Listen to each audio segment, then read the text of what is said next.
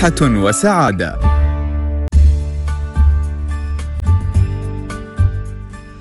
بسم الله الرحمن الرحيم والصلاة والسلام على أشرف المرسلين سيدنا محمد وعلى آله وصحبه أجمعين. اللهم اشرح لي صدري ويسر لي أمري واحلل عقدة من لساني يفقه قولي. أسعد الله أوقاتكم مستمعين الكرام والسلام عليكم ورحمة من الله وبركاته. صباح الخير والنور والإشراق صباح الازدهار لإماراتنا الحبيبة صباح ملؤه الإنجاز والتفاؤل. فحياكم الله معنا في هذه الحلقة الجديدة من برنامجكم صحة وسعادة والذي تقدمه لكم هيئة الصحة بدبي بالتعاون مع مؤسسة دبي للإعلام. وعبر هذه الإذاعة المتميزة دائما إذاعة نور دبي. مثل ما عودناكم مستمعينا أن هذا البرنامج يعني هو عبارة عن نافذة مفتوحة تقدمها لكم هيئة الصحة بدبي للتواصل معكم.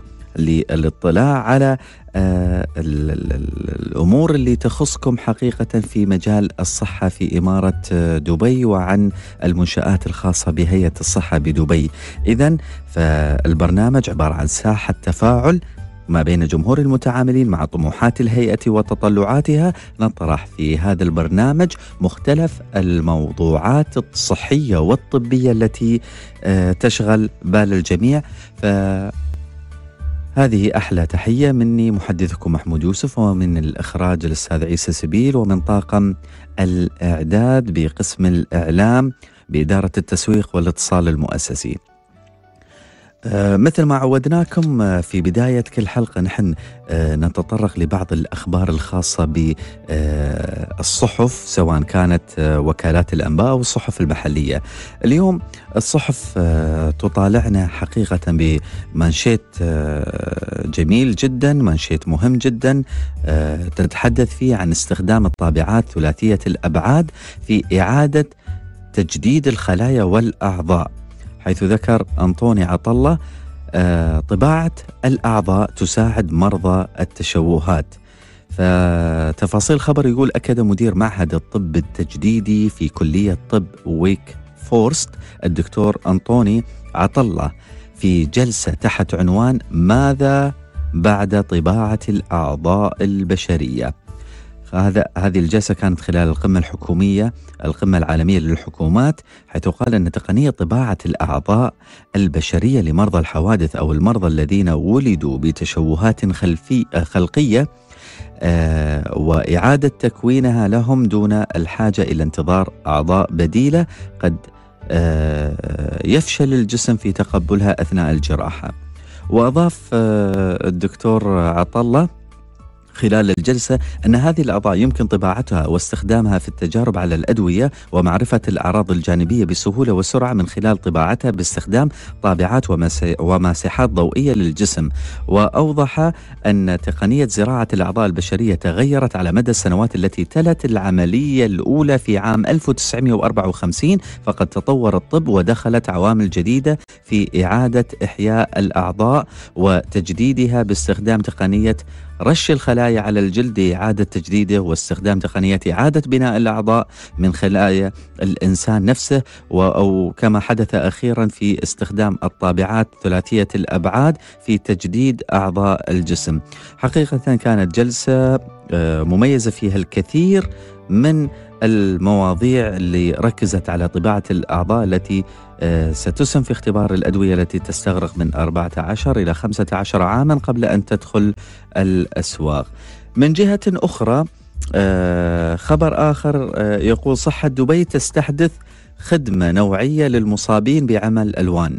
وتشير التفاصيل أن هيئة الصحة بدبي قد فاجأت رواد معرض إكسبو ذوي الإعاقة 2016 بإضافة خدمة نوعية جديدة خصصتها الهيئة للمصابين بمرض عمل ألوان حيث أتاحت الهيئة لهذه الفئة من الجمهور خدمة تصفح موقعها الإلكتروني بكل سهولة من دون عناء. وذلك بمجرد كبسة زر على أيقونة خاصة في الموقع تتحول معها الألوان إلى اللونين الأبيض والأسود ما يساعد المصابين بهذا المرض آه على التنقل ما بين صفحات الموقع والاستفادة من محتواه الخدمي بكل يسر وسهولة.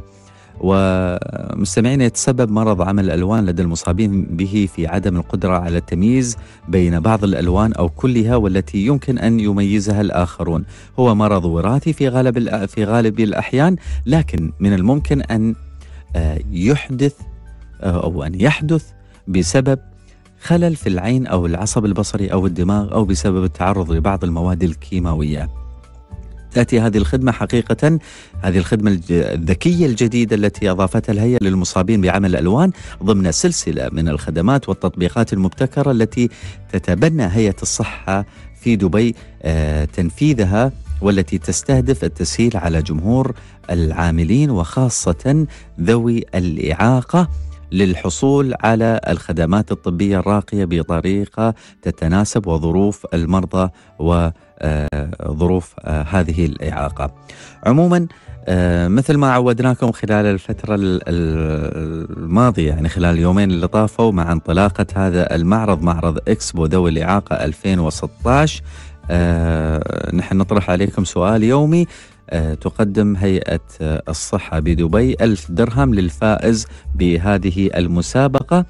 سؤالنا سؤال الحلقة اليوم نحن أعطيناكم الإجابة من خلال الأخبار اللي طرحناها لكن ما نطرح عليكم هذا السؤال.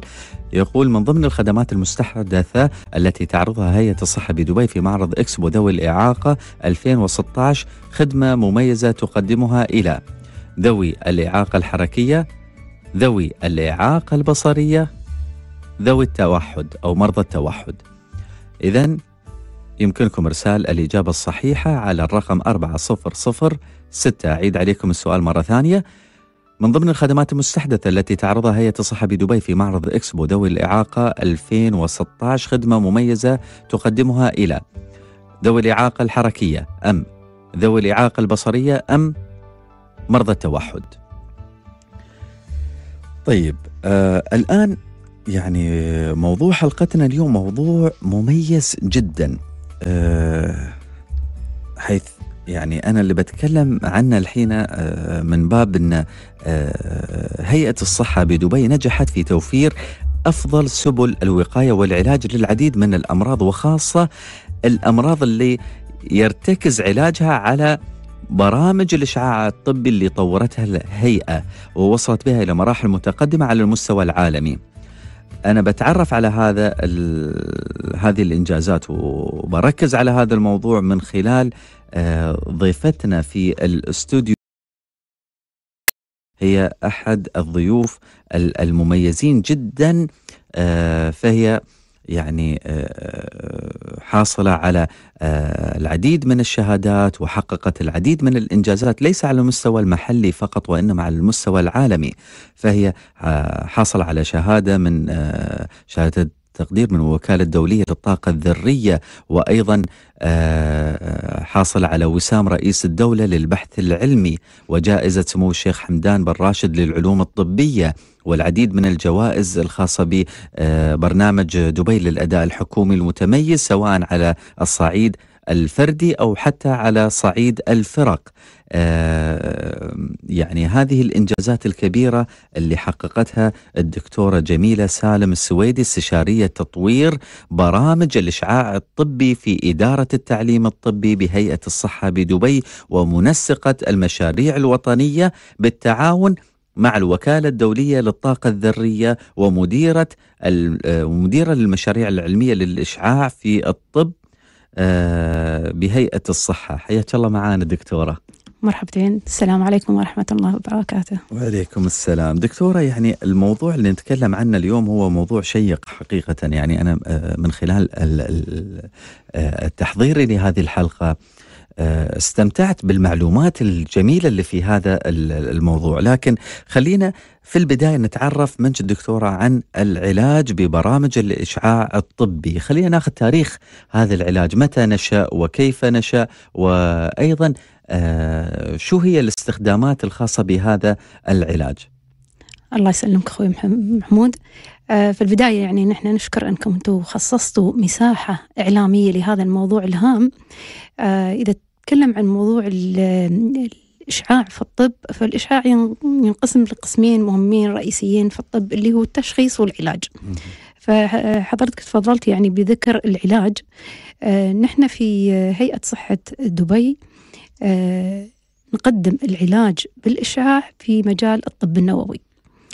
فإذا بنذكر نبذة عن آه، الطب النووي علوم الطب النووي هي عبارة عن استخدامات المواد المشعة في التشخيص اللي هو عن طريق التصوير الطبي واستخدامها كذلك في آه، العلاج. آه، طبعا في جانب آخر كبير من الإشعاع يستخدم في العلاج اللي هو استخدام المصادر المشعة خارج الجسم لعلاج الأورام السرطانية. هذا موجود عندنا في الدولة وعندنا مراكز مميزة في الدولة كذلك آه، تتعلق بالعلاج باستخدام المصادر المشعة خارج جسم المريض نعم. فيما نحن نتطرق إلى عندنا في مستشفى دبي في تخصص الطب النووي هو استخدام المصادر المشعة اللي تكون داخل جسم المريض بحيث أن نحن نعطي الجرعة الإشعاعية يا تعطى على شكل آه، سائل يشربه المريض أو تعطى على شكل كبسولة نعم. نحن في مستشفى دبي نعطي على شكل كبسولة اللي هي كبسولة آه، اليود المشع آه، اليود اليود موجود في الطبيعة آه، من ضمن الأكل يعني اللي هو اليود الطبيعي الغير مشع اللي هو يعطى رقم 127 آه، كرقم لل العدد الكتلي. نعم. اليود اللي إحنا نستخدمه في الطب وهو المشع يعطى رقم اليود المشع 131 هذا نعطيه أمراض اللي هي آه، مثل الامراض السرطانية لعلاج الغدة الدرقية. الدرقية. آه كذلك يعطى لعلاج الأورام الغير سرطانية. نعم. طبعا من ناحية الاشعاع نحن ننظر ل آه الهدف الطبي. الهدف الطبي في العلاج مثلا للأمراض السرطانية هو القضاء على على الورم السرطاني كاملا فتعطى جرعات كبيرة. العلاج اللي هو للغدة الدرقية لتقليل نشاط الغدة الدرقية اللي هي الأورام الغير خبيثة يعطى اليود المشع ولكن بجرعات أقل. جميل. فهني عندنا كمية الإشعاع هي اللي تتحكم يعني. أنا بركز آه، أيضا دكتورة على على موضوع العلاج باليود المشع وأيضا إذا إذا أسعفنا الوقت كذلك ما نتطرق لأنواع أخرى من العلاجات اللي هي الخاصة بالمعالجة الإشعاعية وتأثيراتها والسبل اللي موجودة في والسبل التي تستخدم فيها مثل هذه الأنماط من العلاج. لكن اسمحي لي بتوقف مع فاصل قصير ومن ثم بتواصل مع باقي فقرات حلقتنا وما نتعرف أكثر على هذا المجال. عموما قبل أطلع فاصل خلوني أذكركم بسؤال حلقتنا اليوم. السؤال يقول من ضمن الخدمات المستحدثة التي تعرضها هيئة الصحة بدبي في معرض إكسبو ذوي الإعاقة 2016 خدمة مميزة هي أو هل هي ذوي آه، تقدمها لذوي الإعاقة الحركية أم لذوي الإعاقة البصرية أم لذوي التوحد. وعموما نحن مثل ما عودناكم دائما مع كل فاصل بننقص آه، خيار لكم. فخلوكم على السمع وتقدرون ترسلون لنا الإجابات على الرقم أربعة صفر صفر ستة فاصل. وما نرجع لكم لا تروحون بعيد. صحة وسعادة.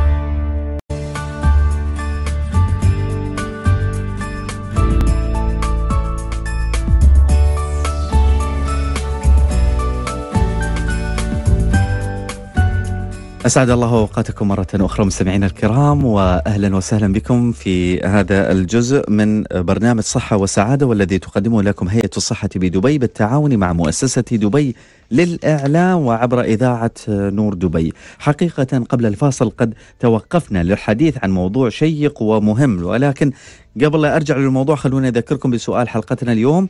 اللي هو من ضمن الخدمات المستحدثة التي تعرضها هيئة الصحة بدبي في معرض إكسبو ذوي الإعاقة 2016 خدمة مميزة تقدمها الهيئة إلى ذوي الإعاقة الحركية أم ذوي الإعاقة البصرية أم ذوي التوحد. يمكنكم إرسال الإجابة على رقم 400 6 طيب أه قبل الفاصل أه يعني توقفنا مع الدكتورة جميلة الشيخ استشارية تطوير أه جميلة السويدي. عفوا.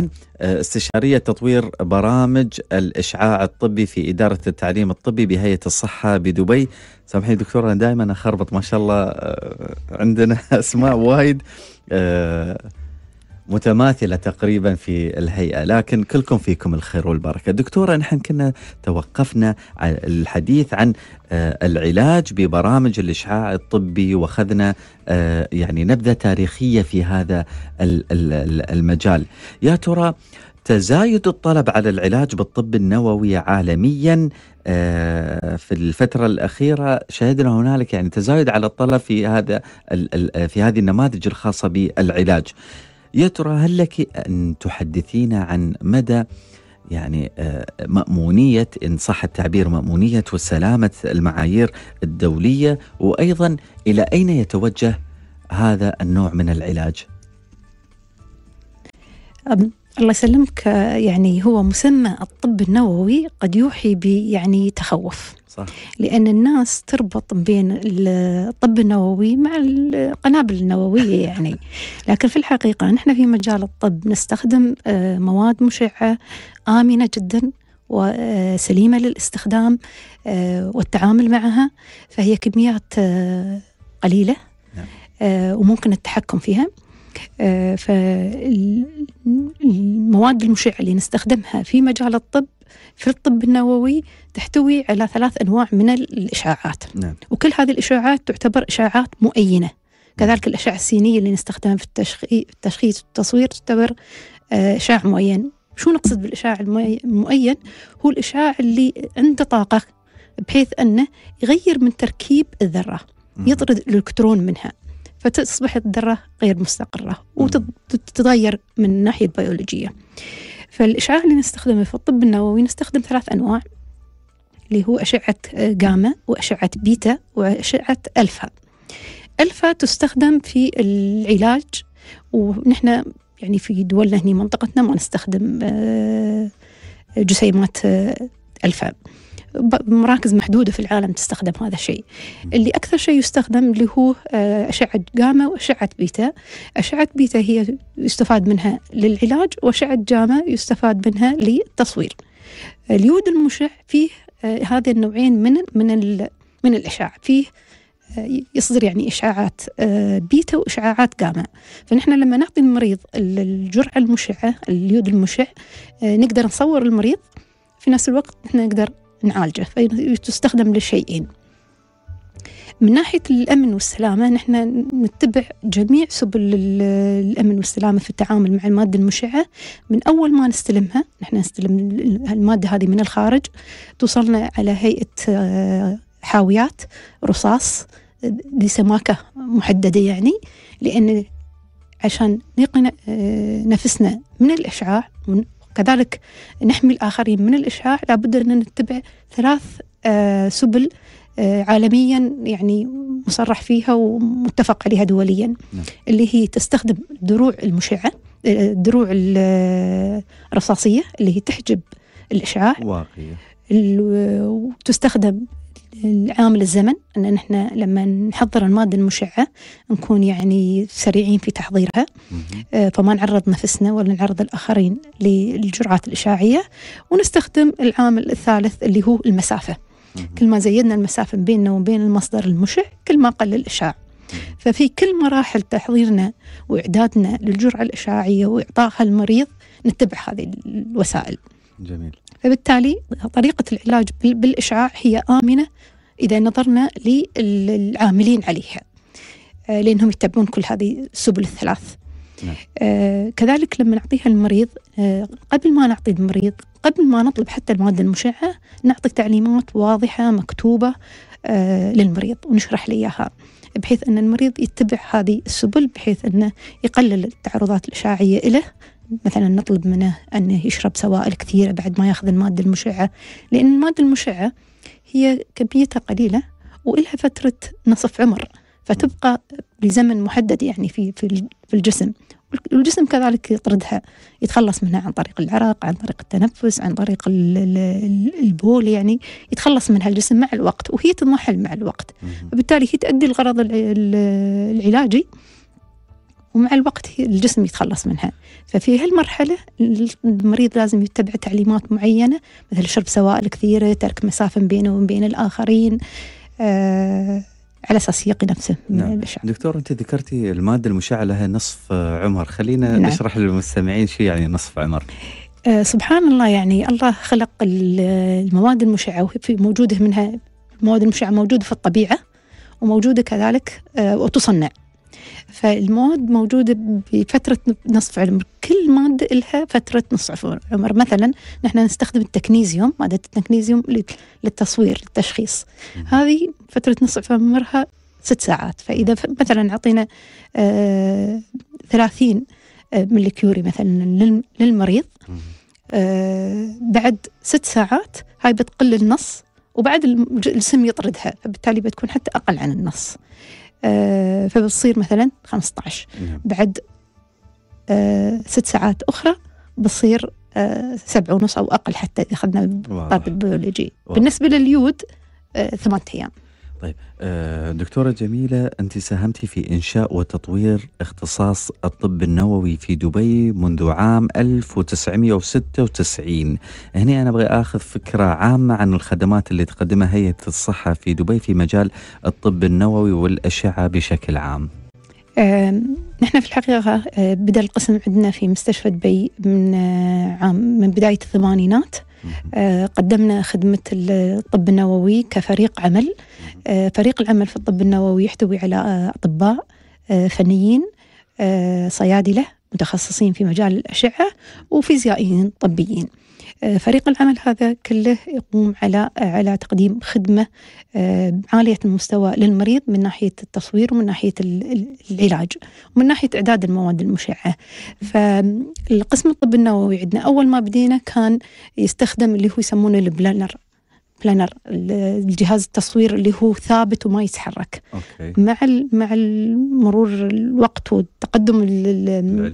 العلم في هذا آه، الجهاز أصبح ي- يلف على المريض بحيث يعطينا صور مقطعية مم. وقدمنا هذه الخدمة عندنا في آه، هيئة الصحة ال- مع تقدم العلم كذلك صار بدال ما يكون آه، كاميرا واحدة موجودة تكون كاميرتين متقابلات بحيث أن المريض يكون صرير المريض يكون بينهم فتاخذ صور سريعة فقلل وقت التصوير للنصف تقريبا.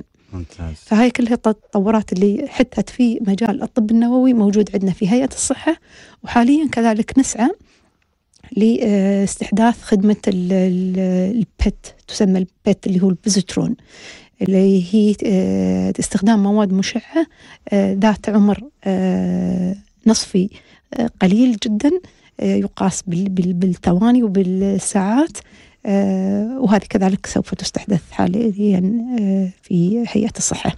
طيب دكتور أنا اللي, يتبادر في ذهني الآن هذه المواد المشعة هل يتم استيرادها من الخارج ولا هل هنالك بعض ال- المراكز اللي موجودة في الدولة لإنتاج مثل هذه المواد؟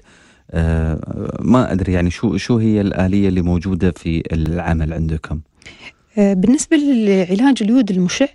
نحن نستلم المواد المشعة من خارج الدولة مهم. آه، نستلمها من هولندا هم ينتجونها هناك عن طريق مفاعلات. آه، بالنسبة للمواد المشعة الأخرى اللي نستخدمها في التصوير ال- الطبي في الطب النووي مثل مادة التكنيزيوم اللي هي تعتبر المادة الأولى يعني في استخدامها للتصوير هذه توصلنا كذلك من خارج الدولة عن طريق آه، مولد يسمى آه، المولد النووي يعني آه، نستلمه كل أسبوع ونستخدمه على طول الأسبوع والأسبوع القادم يجي لنا واحد جديد وهكذا. آه، كذلك في عندنا في الدولة توجد مراكز لإنتاج المواد المشعة اللي هي تخدم التصوير اللي هو ال positron ال PET tomography يسمى آه، هذه عندنا أربع آه، مراكز مراكز في الدولة اللي هي عندهم يسمونه baby cyclotron اللي هو كان كأنه يعني مفاعل نووي صغير, صغير. ينتج المواد المشعة وهذه لازم تكون موجودة عندنا في الدولة لأن فترة نصف العمر آه، قصيرة جدا.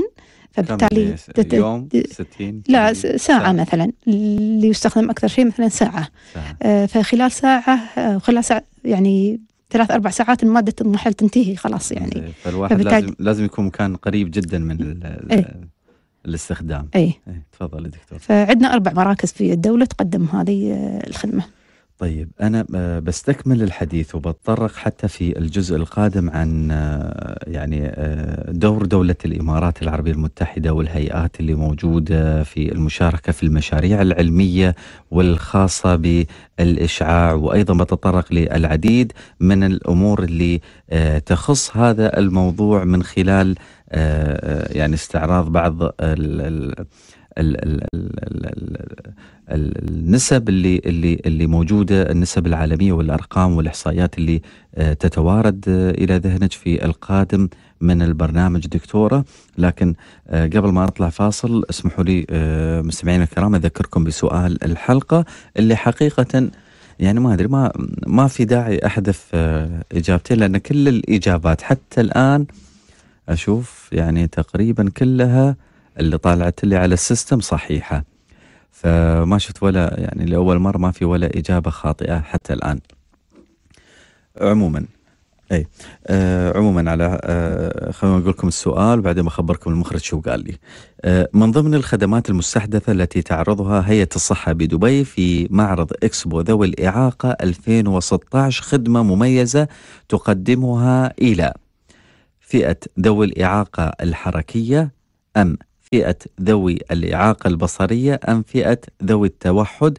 وأنا دائما ما وعدتكم أني أنا بحذف آه، إجابة فبقول لكم الخيارات تتركز ما بين فئة ذوي الإعاقة البصرية أم فئة ذوي التوحد.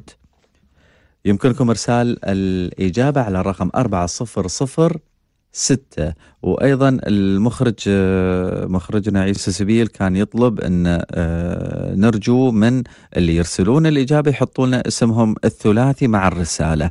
يعني يكتبوا لنا الإجابة ويحطوا لنا الاسم الثلاثي على أساس تسهل عملية السحب علينا ونقدر نتواصل معاكم بشكل سريع. آه فاصل ناخذ فاصل وما نرجع لكم إن شاء الله. صحة وسعادة.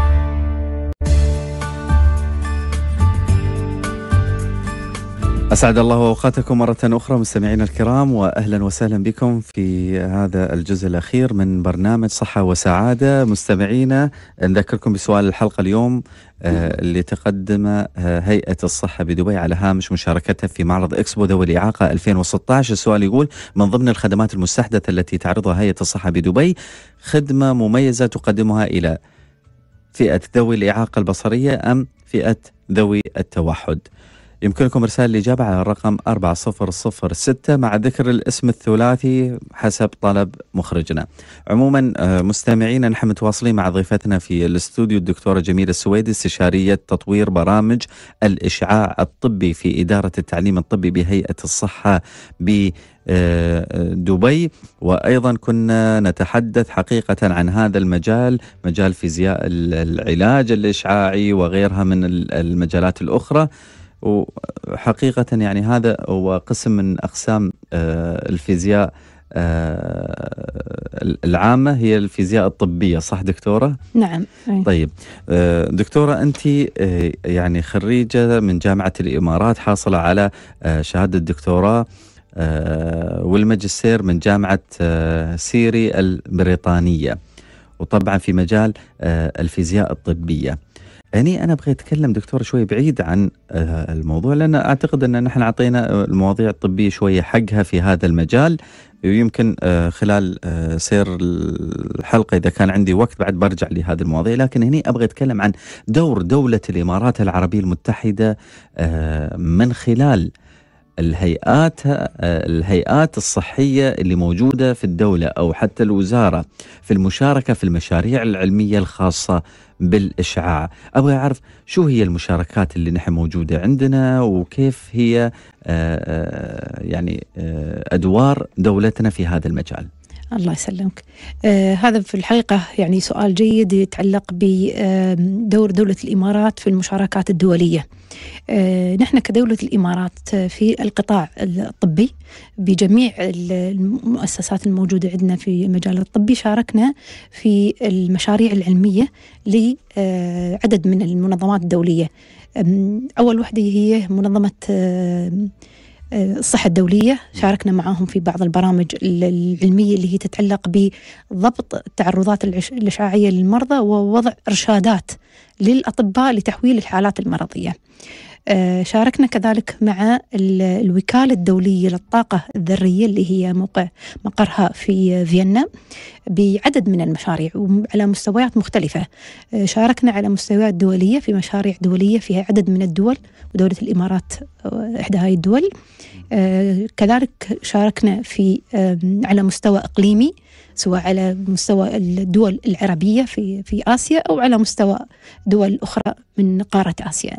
وشاركنا كذلك مع آه، في مشاريع محلية وطنية آه، كل هذه المشاريع هي مشاريع علمية تتعلق باستخدام الإشعاع في مجال الطب للتشخيص بالأشعة السينية والطب النووي. وكذلك للعلاج. من أهم المشاريع اللي نحن تناولناها هي ضبط التعرضات الإشعاعية للمرضى واخترنا منهم فئة الأطفال لأن الأطفال أكثر حساسية للتأثيرات الإشعاعية. فكان عندنا مشروع قائم على قياس التعرضات الإشعاعية للأطفال. نعم. إذا أعطيك مثال نحن قمنا بهذا المشروع على مستوى عدد من من المستشفيات في دولة الإمارات آه، للتصوير المقطعي اللي هو سي تي نعم. آه، فقدرنا نجمع التعرضات الإشعاعية هذه في عدد من من الفحوصات اللي هي فحوصات الرأس وفحوصات الصدر والبطن والحوض نعم. وشفنا مدى مستوى التعرض الإشعاعي وقارناه بالمستويات اللي تستخدم في المستشفيات الأخرى في أوروبا وفي أمريكا وأستراليا. آه ومع الوقت آه اتبعنا تقنيات لحماية المرضى في تقليل هاي التعرضات الإشعاعية. فعندنا دراسة من 2008 إلين 2011 جمعنا المستويات التعرضات الإشعاعية وتحكمنا في الأمور اللي هي آه، ممكن نقلل فيها الإشعاع. فتمكنا من تقليل الإشعاع إلى 50% في بعض إذا آه تم عرض آه نتائج هذه البحوث في العديد من المؤتمرات الدولية في أوروبا وفي آسيا. آه دكتورة هني أبغي آه توجه حقيقة آه، بحكم أن آه، هذه الخبرة الطويلة وهذه ال ال الخبرات العلم العلمية اللي اللي قدرتي تحصلينها هني أبغي أعرف يعني شو تنصحين اللي يفكر يدخل آه، ويدرس الفيزياء؟ ويعني شو المفروض يسوي؟ وكيف يقدر يدخل في آه، مجال الفيزياء الطبية؟ في الحقيقة آه، نحن نحتاج متخصصين في مجال الفيزياء الطبية. ليس فقط على مستوى دولة الإمارات ولكن هذا الاحتياج حتى على مستوى العالم. نعم. هناك نقص شديد في عدد الفيزيائيين الطبيين على مستوى العالم والطلب آه، لوجودهم في المستشفيات آه، طلب قائم ومستمر لأن تقنية التصوير الطبي حاليا تتطور. وتصبح آه، بصورة ممكن التحكم فيها بحيث أنك أنت تقلل الإشعاع على المريض بحيث أنك أنت تنتج صور إشعاعية ذات جودة عالية. فالشخص أو المهني اللي هو متخصص في هذا هو الفيزيائي الطبي يقدر يتحكم.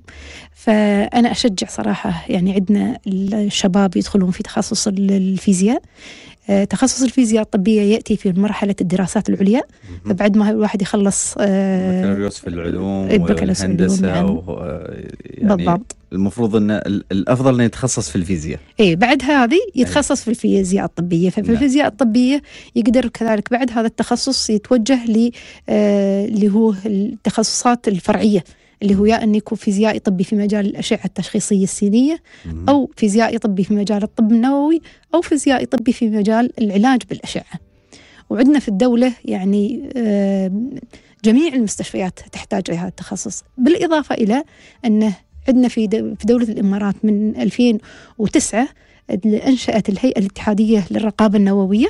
ف من ضمن عملهم هو مراقبة التعرضات الإشعاعية في جميع المجالات الطبية وغير الطبية فبالتالي هناك احتياج للفيزياء الطبي في هذا المجال طيب آه، دكتورة إذا بسأل السؤال اللي اللي أنا بحط نفسي في مكان الراغب بالدراسة طيب وين أدرس الفيزياء الطبية؟ آه، الجامعات اللي اللي اللي موجودة حول العالم يعني معظمها جامعات آه، في في خارج الدولة وما عندنا إلا جامعات متعددة قليلة في عربية ممكن نحن نقول عنها. طيب ليش ما يكون عندنا آه، تخصص مثل هذا التخصص المهم والاحتياج المهم اللي نحن نحتاجه والمستقبل متوجه إلى هذا التوجه؟ هذا السؤال أرفعه إلى آه، آه، يعني الجماعة في الوزارة وزارة التعليم والتعليم العالي. وحقيقة هذا تحدي قدامهم. نحن نتمنى أن يتم استحداث مثل هذا التخصصات مثل ما ذكرتي دكتور أن نحن محتاجين هذا التخصص. نعم. أشكرك على هذا الطرح الرائع اللي هو بالفعل نحن محتاجين له. آه نحن تواصلنا مع عدد من من المؤسسات الأكاديمية عندنا في الدولة. آه وعلى مدى السنوات الماضية تمكنا مع جامعة الإمارات في إنشاء التخصص وكان تخصص على مستوى البكالوريوس. وخرجنا الحمد لله أعداد خدمت في المستشفيات يعني سواء هيئة الصحة أو وزارة الصحة أو هيئة صحة أبو ظبي آه، فكان في عندنا خريجين آه، اشتغلوا في هذا المجال.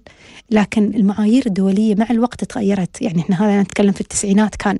نعم. الحين المعايير الدولية لازم يكون الشخص يكون حاصل على آه، ماجستير في الفيزياء الطبية.